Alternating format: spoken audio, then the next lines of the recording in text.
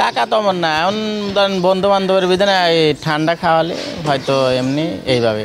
নতুন বিয়ে করছি আমি দেখাচ্ছি। এটা আমার কাছে ভালো লাগছে। প্রাণহীন এফডিসিতে নায়ক নায়িকা নেই।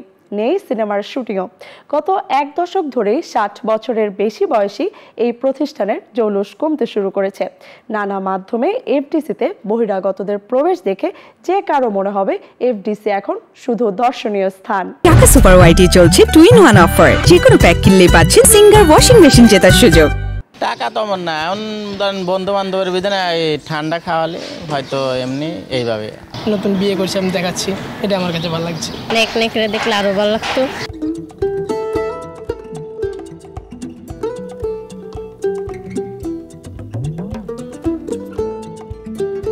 এফডিসি ভাবছিলাম যে অনেক নায়ক নায়িকা আছে। এখন আর ওই আগের মতন তার তেমন কেউ আসে না। ওই দেখা যায় যে দু একটা নায়ক নায়িকা আসে।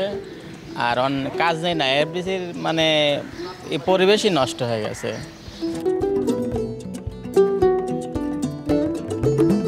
নতুন বিয়ে করছি আমি দেখাচ্ছি এটা আমার কাছে ভালো লাগছে। কোনোদিন আসিনি তারপরে আমার হাজব্যান্ড নিয়ে আসছি দেখতে অনেক ভালোই লাগে। নেক নেকড়ে দেখলে আরও ভালো লাগতো।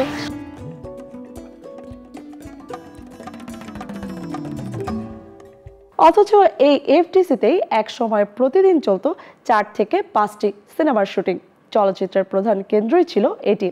অভিনয়, শুটিং, এডিটিং সব মিলে সরগরম পরিবেশ ছিল এফডিসিতে। এখন প্রশ্ন, ডিজিটাল ওভার দ্য প্ল্যাটফর্ম কন্টেন্টের ভিড়ে এফডিসি কতটা তার অলস পরিবেশ কাটাতে পারবে?